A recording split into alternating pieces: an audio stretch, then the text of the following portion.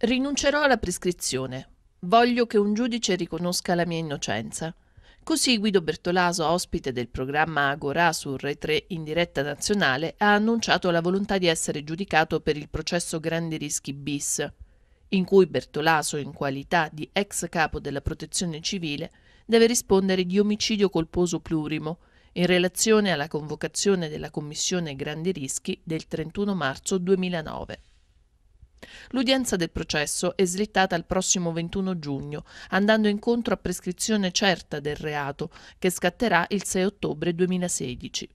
La scelta si è resa necessaria, secondo il giudice Grieco, titolare del procedimento, perché ci sono ben 800 processi affidati a lui in corso di svolgimento. All'annuncio del rinvio dell'udienza, in aula è esplosa la rabbia dei parenti delle vittime del terremoto.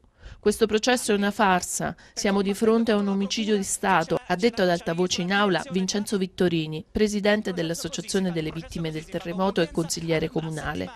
Questo processo non può essere considerato come tutti gli altri. Secondo Vittorini, la Procura ha fatto perdere tempo al processo con tre richieste di archiviazione.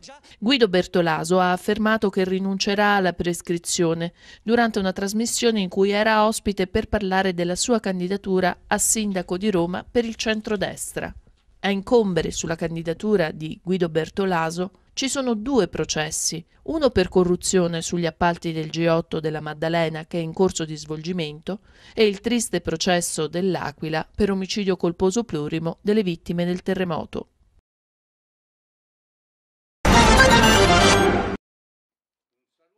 Rispetto allo scorso anno c'è la positiva novità dell'inaugurazione del restaurato Palazzo di Giustizia in via 20 settembre. Inizia così l'inaugurazione dell'anno giudiziario tributario del 2016 nella relazione del Presidente della Commissione tributaria regionale dell'Abruzzo.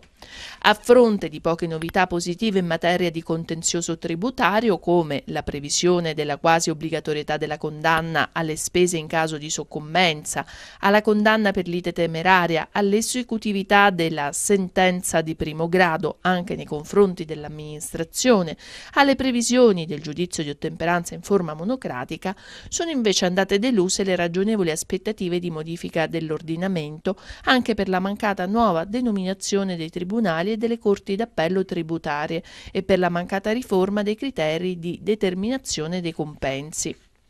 Già l'anno scorso nella mia relazione ebbi a dire della positività della risposta della giustizia tributaria alle richieste dei cittadini, quest'anno con soddisfazione posso dire che è confermato questo trend positivo. Mediamente il ricorso nei primi due gradi della provinciale e della regionale vengono definiti entro il termine massimo di tre anni, termine che è sicuramente molto positivo anche confrontato con i termini delle altre autorità giudiziarie. L'Aquila in viaggio verso Sant'Arcangelo dove domani giocherà la prima partita di campionato dopo la riduzione della penalizzazione che ad inizio settimana ha tolto i rossoblù dalla zona play-out grazie alla restituzione di 7 punti.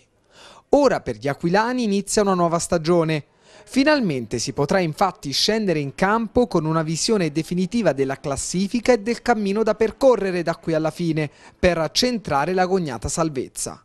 Non sarà facile contro una diretta concorrente, il Sant'Arcangelo, che si trova a sole due lunghezze di distanza dagli uomini di Perrone. Tra l'altro la sfida di domani sarà solo il primo degli scontri diretti in calendario che l'Aquila dovrà affrontare tutti lontani dal Fattori, vedi ad esempio Rimini e Lupa Roma. L'importante sarà innanzitutto non perdere. Sul fronte formazione l'interrogativo della vigilia è Pesoli sì o Pesoli no? Il centrale difensivo ex Pescara è alle prese con un problema muscolare al flessore e da inizio settimana è in cura a Cesena. È tornato questa mattina in città per provare a forzare in campo, ma se dovesse restare fuori dai giochi, considerando anche l'indisponibilità per squalifica di Giordano Maccarrone, il candidato per una maglia da titolare è il giovane Luca Bruno, prelevato a gennaio in prestito dal Crotone. Bruno andrebbe così a completare il trio difensivo con Cosentini e Piva. Per quanto riguarda il modulo anti-Sant'Arcangelo, si va verso la conferma del 3-4-3, ma a partita in corso è possibile il passaggio al 3-5-2 con un uomo in più a centrocampo, da scegliere tra i giovani Boulevardi e De Francesco. In attacco sarà confermato il trio dei Sousa Perna San Domenico, anche a causa delle precarie condizioni fisiche di Tommaso Ceccarelli, che in settimana si è allenato a fasi alterne a causa di un virus intestinale.